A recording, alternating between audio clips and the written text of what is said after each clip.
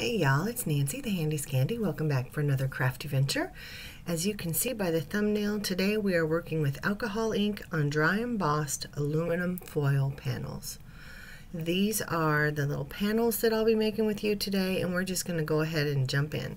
So I have these panels, I think there are eight or nine of them, and I have simply run them through my Big Shot machine in various embossing folders and they're just gorgeous and I used my rock paper scissors removable sticker sticker label paper and just some kitchen foil. Super simple. Now I learned this technique from Birgit Koopsen. It was last summer I believe during the Beyond Paper workshop that they had. It was um, three different artists using things that were of course beyond cardstock paper, which is what we're used to. And it was such an amazing workshop. And this was one of the techniques that really just stepped out in my mind. And I really wanted to recreate it. So this is my take on it. So Birgit did it a little bit differently. She actually had cardstock with the double-sided um, adhesive sheet and then the aluminum foil. I didn't use cardstock at all. I just have my label sheet and then I have the aluminum foil, then I ran it through the Big Shot with the embossing folders, and now here we are with the ink. And you're seeing that I'm using pretty much simple three color analogous color patterns, right? Or color combos. So that wasn't necessarily on purpose. I just kind of pulled a bunch of colors that were pleasing to my eye. You know how um, Kathy Rack does the, I think she calls it color plucking. Is that right? And she'll go to her Copics and she'll just pull random random Copic markers and she'll make it work. That's pretty much what I've done here. But it's interesting that I pulled things that were very, very friendly to each other. So if you do not have a color wheel, I encourage you to get one, especially if you struggle with color combos. So maybe you know what's pleasing to the eye, but you can't quite figure out why you like it or why it works when other people use it. And maybe you're doing something that, that doesn't quite work for, for your eye or for, for your palette or even just for your taste. I encourage you to get a color wheel. It'll make sense. So like I said, I'm just dropping the aluminum or the alcohol inks and I'm using little blender foams just to kind of move it around a little bit when it when it stops because it dries relatively quickly. And then I also have my little spray bottle with alcohol, just regular isopropyl alcohol and um, just trying to help it move a little bit. And when I'm using my, my little foam pads like I am here, it's really just to make sure that I get full coverage on my panel, not so much to help with the blending because when I blend with that, it really just blends, right? It doesn't have like the color gradient and things like that. So this one got a little wild when I added that purpley pink color, kind of magenta. Um, yeah, kind of took over, but I don't hate it. I don't hate any of them. And as I'm making them, I'm thinking, oh, this is my favorite. And then I start the next one. Oh, no, this is my favorite. I like them all for different reasons. And all these embossing folders, I want to say I will try to list and link everything downstairs in the description box as well as with my inks.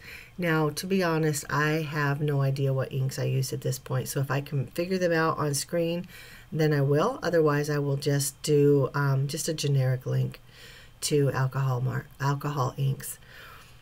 But one thing that I learned through this process, because I'm learning as I go, right? I watch the tutorial and I'm just playing. One thing that I've learned in terms of like what my favorite ones are and my favorite, um, not necessarily even color palettes, but but just my favorite panels. I'll just say that. They are the ones where I spent more time and I added more layers and more depth of color.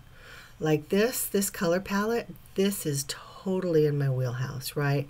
Orange, pinks, yellows, corals, yeah, totally in my wheelhouse but I feel like I blended it out too much, as you can see, but I come back in and I drop the inks in various places just to get some of that color gradient, which it works. And I love to see that process. You see how they kind of separate from each other and the, the alcohol ink that I put down reactivates the alcohol ink that are already dry. It's a really cool process. I really love it.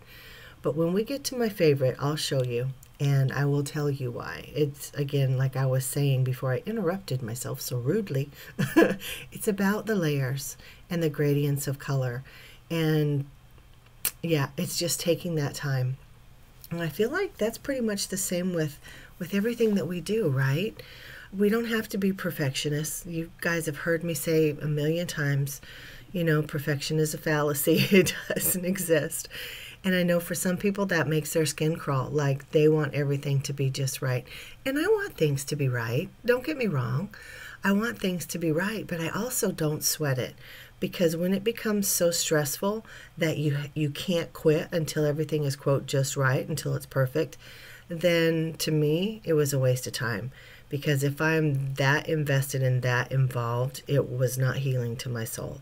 And for me, that's what art is all about, whether it's card making or something else.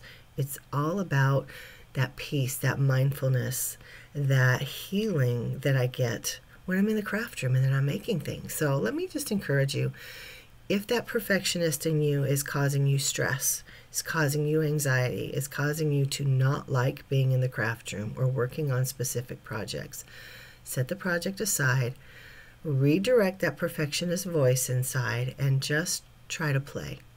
Just play. Don't have a goal in mind, whether it's, you know, playing with alcohol inks or just coloring or die cutting just for die cutting sake so you have them ready.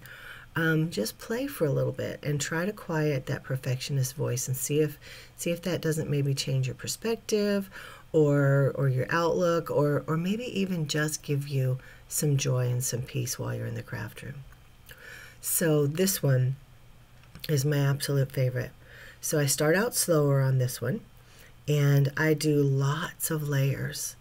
And I have, I think it's four browns and two greens.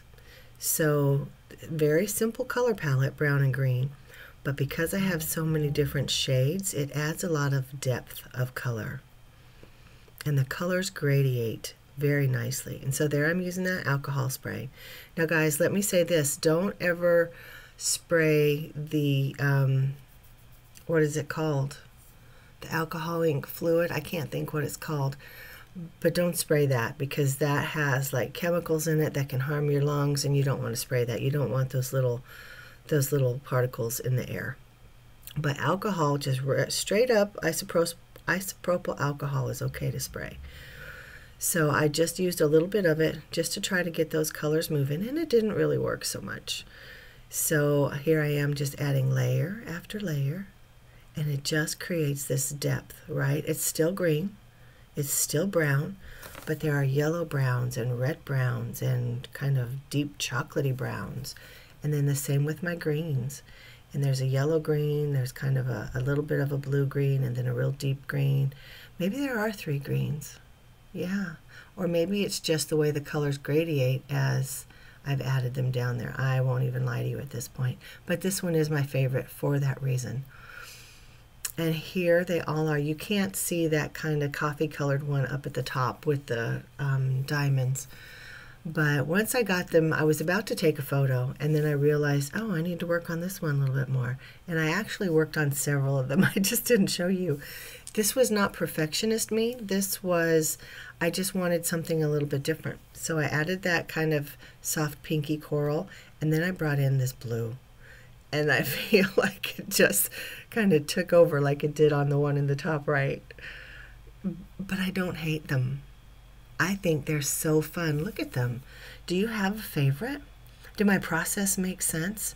If you need more information on what I did or how I did it, drop me a question downstairs and I can definitely give you the answers. Also, check out the workshop Beyond the Paper. Um, Birgit Koopsen, Nat, oh gosh, I can't remember everybody, but I'll try to list it downstairs. I'll try to provide you a link to that as well because my understanding is that you can jump in anytime because it is recorded. So you didn't have to, to do it live, which was great to do it live but yeah so i'll link that i'll list and link all of my products that i can find downstairs and again i ask you do you have a favorite of these panels do any of these embossing folders look familiar to you have you had this had this thought or heard of this this technique before with the um, aluminum foil. I think it's so fun because remember, alcohol inks work best on non-porous surfaces. So of course, you know, aluminum foil is non-porous. Anyway, guys, I feel like I'm rambling at this point and I do apologize.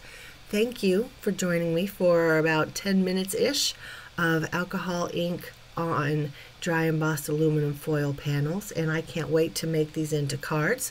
Just wanted to share my process with you today. Again, drop me comments downstairs. Thank you so much for spending some time with me and until next time, this is Nancy, the Handi Scandi, and I'm out.